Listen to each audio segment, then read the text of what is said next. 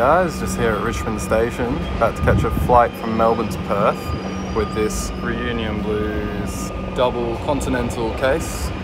See how it goes. It's got two Telecasters in it. See how it ends up at the other end. Let's see if we can get there and be pretty okay at guitars.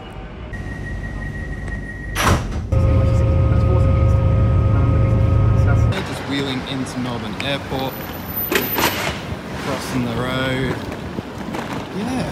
Check this in. One thing I can't miss is that there's a sneaky handle on the back, which is great for when you're holding the bag vertical. The shock absorbing flexoskeleton means it takes impact really well, don't worry about baggage handlers. And the backpack straps fold away when you don't need them. So I just got into Perth and I'm going to pick up my car. And uh, got the guitars and everything's all good.